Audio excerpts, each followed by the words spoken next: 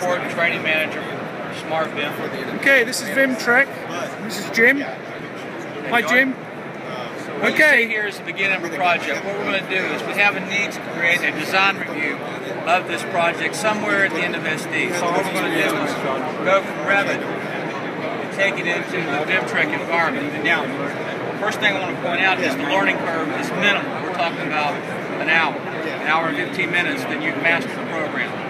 So from here, and we're going to do this in real time, I'm going to export this out to VimTrek. Now, this process, as you'll see, takes about 75 to 80 seconds. Okay, I'm going to go ahead and steal the file name that's already here. that's right. Yeah, I mean, my. And you'll see the export progress come up. Okay, so your software, you provide an API that goes straight into Revit Architecture 2012. Yes, 2011 and 2012. We Okay. support both those versions. Okay, how much? How much and is the all product? three, and also you know, Revit Structure, MEP, and Revit Architecture. So all three versions of Revit in 2012 and 2011. Okay, okay. How, what's this retail at? The initial price point is 3500 and we're selling it through the VAR channel, through the Autodesk reseller channel. That's where you purchase it. The first seat, if you will, is a combination. It's a bundle. It is VimTrek plus Smart BIM's Access Suite, which Okay. is a Revit content management system on the cloud. Okay, brilliant. And then after that, you can either buy more seats of VimTrek or more seats of Access. Yeah. We have a pricing scheme that satisfies your needs. And it can be deployed across the network between offices. It's actually globally globally accessible, which is great. That's one of the big benefits of having cloud-based information. Yeah, okay. So I can secure it, whatever my uh, web web browser Yes. parameters are. Yes, and it's log it's login controlled. You, you can assign role-based um, permissions to get access to it. You have administrator, managers, and end users. So it's totally a secure location where it's repository on the cloud. Okay, So that's completed. So we've invested that amount of Right. time. Now I'm going to go ahead and open it up. Now, this is the environment we just created. okay. And in Producer, some of the changes that you can make. Let me go ahead and navigate around here.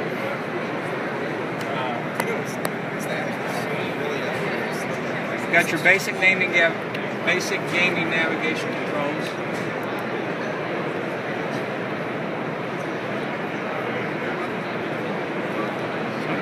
Still saving. There we go.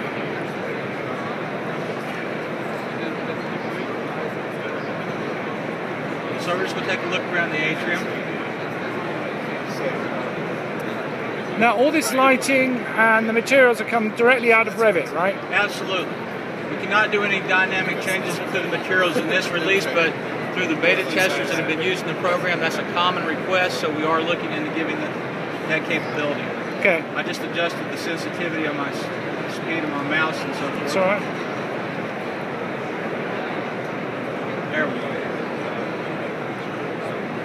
Uh, part of the process, when you saw it exporting, part of what takes place in that 75 seconds is we have specialized plants that are developed by VimTrek that are fully optimized for this real-time gaming environment. As you Okay. can see, a higher level of detail than your standard Revit plants. Yeah, yeah, that's right. So you, they, they, they get auto replaced, do they? automatically. These Yeah. are optimized so that you can actually navigate in this environment in real time and it does not have an adverse effect on your display graphics. Okay.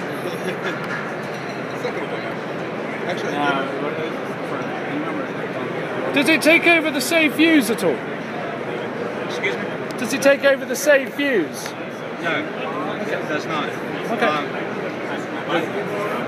the, model can be generated, it can be exported from any of the 3D views in Revit except camera views Okay. because it doesn't read that perspective. But any No. 3D view, any visibility changes you make in those views will affect what is actually exported in the scene. So you have total control over what's exported out. All right, that's good. Now from here, to go ahead and rotate the view around.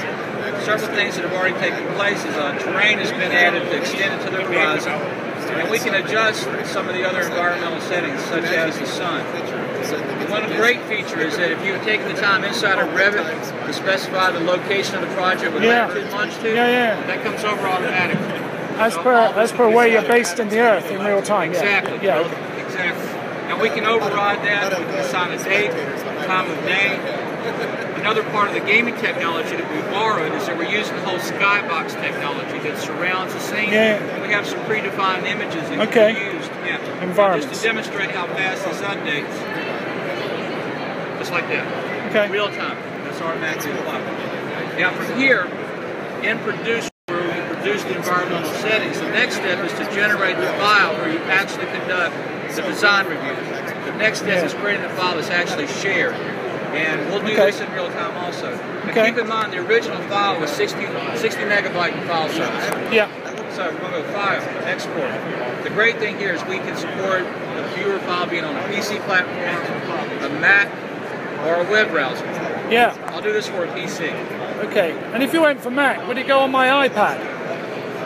I don't think the HTML format's quite ready No. for, i for No, that's iPad okay. yet, but within the next two months, we Yeah. have developers targeted to do that. Okay. That has become a more frequent request. So I'm going to, once again, still file name is. Once again, this is being processed in real time.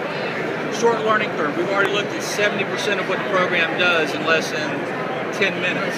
It's no Okay. more complicated than that. This also actually opens up to the file that we just generated. Extremely easy. Yeah. I'm going to close the producer file so you can clearly see that there's two different versions. Yeah. Okay.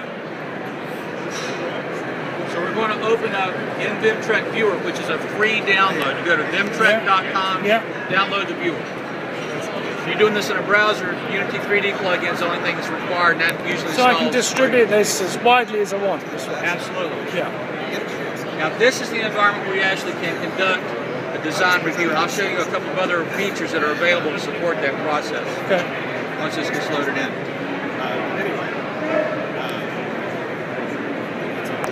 uh, very abbreviated toolbar, simple Yeah. interface. You have the fly mode, the gravity mode, simulates you know working in a gaming environment. You have the ability to open other files, and we have a, a Vim Notes capability, which is what you use to annotate the changes that you'd like to have made. So from here, we're going to go ahead and navigate back into the building. You'll notice that the graphics is a better quality and VimTrek Viewer than it was in Producer. You get the, the navigation is a lot smoother. Once again, basic gaming technology. You're using your mouse to control the direction you're viewing, keyboard to control the direction of movement.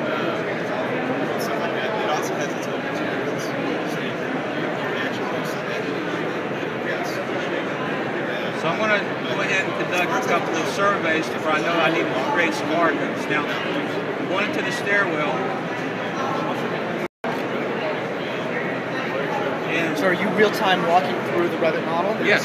Well, this is a BIM model generated from the Revit model, which took about 75 seconds to get here. Now, at this point, we've discovered there is a issue with the model. Okay. So we need to mark that up and get that communicated back to the architect. So what I'm going to do is place a Vim node to indicate that. Now to identify where the, what it's relative to, I'm placing a Vim node marker. The marker's been applied there. I can now add the node here.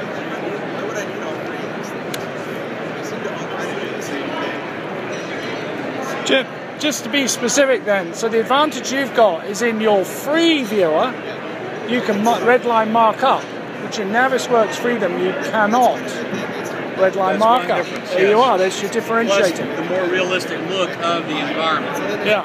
So this has been completed. I'm going to apply it. I'm going to go to another area to do another markup because there's another capability this markup technology gives you in this environment that to see it you have to have at least two markers.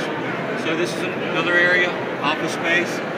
Now, in addition to the graphics engine and the capability to generate this from your Revit project, what sets us apart is that we also provide the information from the Revit model.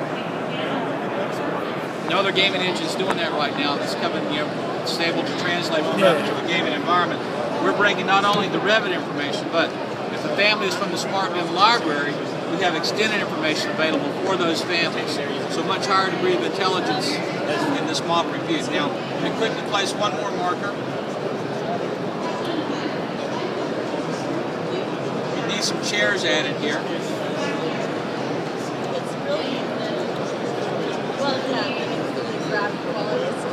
So we'll apply that. Now imagine there are 30 different markers in this file. You would save these markers out, very small file format, email it back to the architect, he loads it in.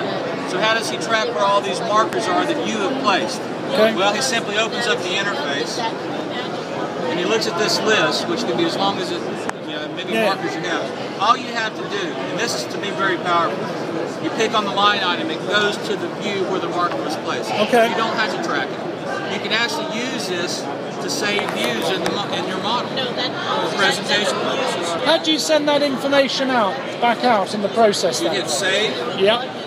give it a file name, Okay. then email that file back to the building owner. He opens up his version of the view He had, because he, to, he had created to download it. the viewer. He had to download the viewer to. Well, he generated it. okay. Like the architect would have generated this. You, the building owner, or the GC, or the engineer, just got through reviewing it and placing the markers in it. Once you're completed, you hit the save button. You get a little MRS file. You email that back because it's going to be like 10 kilobytes in file size.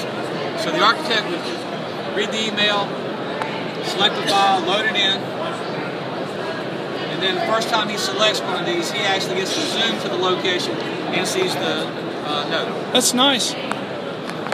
So everybody's got the free viewer, so there's no cost for that. Yeah. It's insanely simple to use, as you saw, as an executable file. So even general contractors or tradesmen or building owners who have never been using any of the high-tech programs, it's pick and click, and it's free. It's brilliant. Jim, thank you. Thank you.